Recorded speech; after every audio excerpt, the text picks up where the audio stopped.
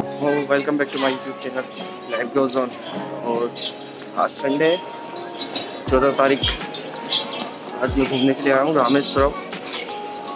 रामेश्वरम महादेव, इनका पूरा नाम है। और ये बूंदी ज़िले में स्थित है। बूंदी से लगभग 15-20 किलोमीटर। काफ़ी धूप निकल रही है। आज मौसम भी अच्छा नहीं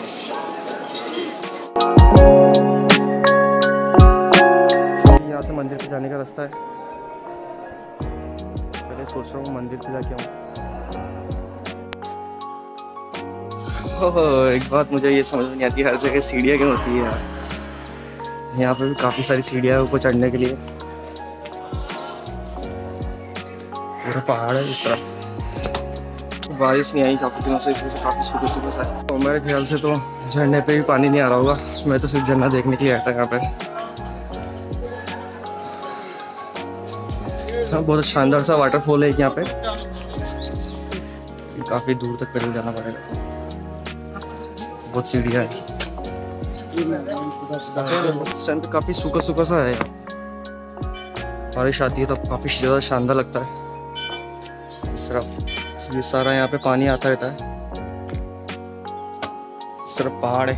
दोनों तरफ़ पहाड़ है बेसिकली और बीच में रास्ता है। वाटरफॉल भी इनके बीच में है, जहाँ पे ये दोनों ख़त्म हो रहे हैं।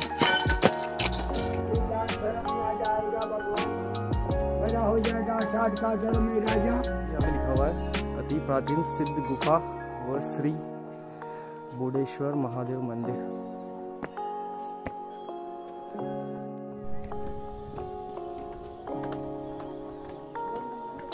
वो वहाँ सामने मंदिर है। तो काफ़ी सारी सीढ़ियाँ हैं। वैसे एक रास्ता हो रहा है नीचे से जाने का। वहाँ पर बाद में चलेंगे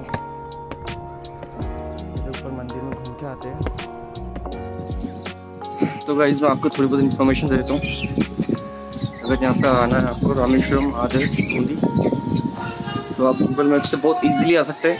वहाँ पे टाइप करिए और इंस्ट्रक्शन फॉलो करते हुए सीधे आ सकते हैं। पहुँचने वाला हूँ। थोड़ा सा बचा तो यहाँ पर मंदिर है।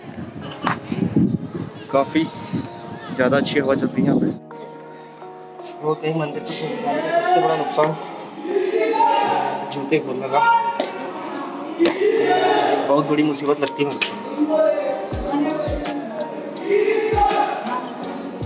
इसके अलावा और कोई परेशानी नहीं है।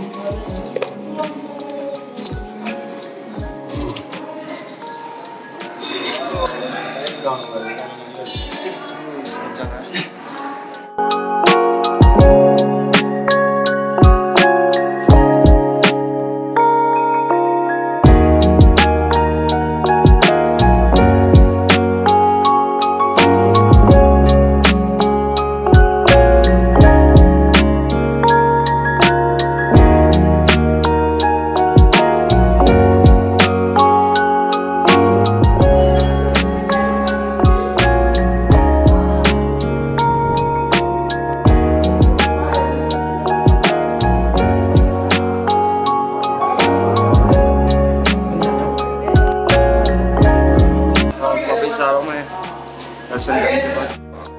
चलिए, आप सभी लोग बहुत शानदार चीज़ का जिसको देखने के लिए मैं यहाँ पे आया था वाटरफॉल इस नीचे उतरना पड़ेगा यहाँ से। और ये तो हर जगह होता है। क्या कह रहे है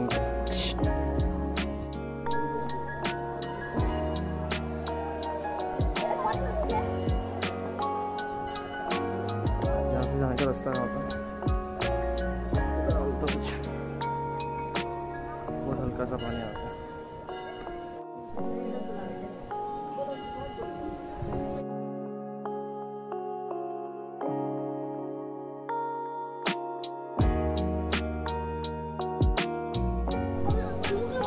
वहाँ पे एक भोलेनाथ का मंदिर है, जिसको उस झरने से पानी आता है ऊपर वाले से। वो वहाँ से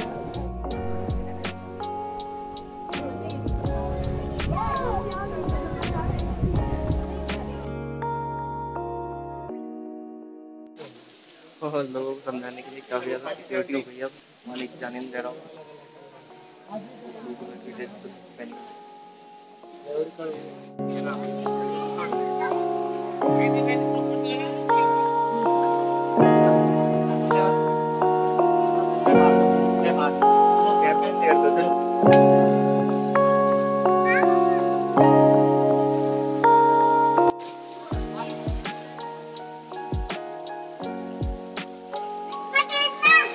ये भी आया वो जा रहे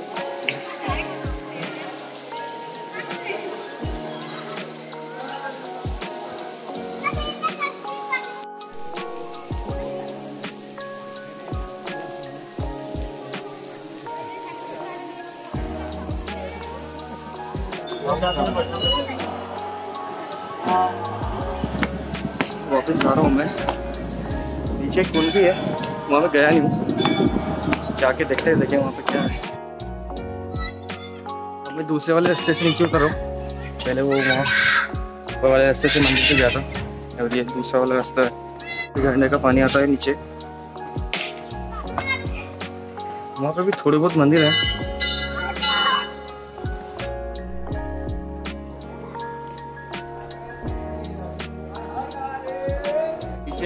छोटा सा छोटा सा पुल बना रखा। तरफ़ से पानी आता है झरने का। हम लोग खूबसूरत लग रहा है। बहुत ज़्यादा खूबसूरत। जैसे मुझे नहीं पता रिकॉर्डिंग करने के बाद कैमरे में कैसा लगेगा। लेकिन अपनी आँखों से देखने में काफ़ी ज़्यादा खूबसूरत लग रहा है।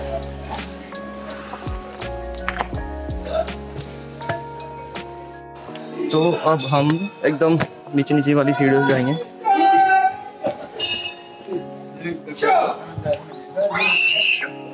काफ़ी भीड़ है यहाँ पे संडे की वजह से। बहुत भीड़ है।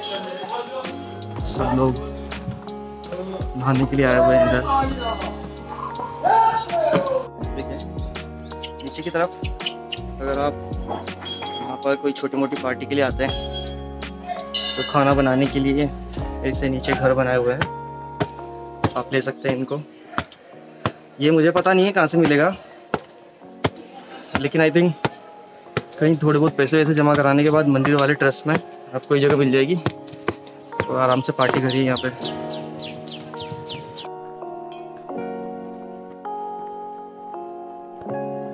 और एक नॉर्मल सी एडवाइस प्रसाद लेके आए तो बंदर का ध्यान रखें एज यूजल हर पहाड़ वाली जगह पे बंदर होते हैं, यहाँ पे भी काफ़ी सारे बंदर है। तो थोड़ा ध्यान रखें। हाँ तो मैं जिस कुंड की बात कर रहा था एक नहाने के लिए है वो यहाँ से रास्ता है। आप नहीं आएगा जल्दी आ। देखिए पानी भरा हुआ है इसमें। आगे थोड़ा और बहुत ज़्यादा पानी। काफ़ी सारे लोग नहा भी रहे हैं।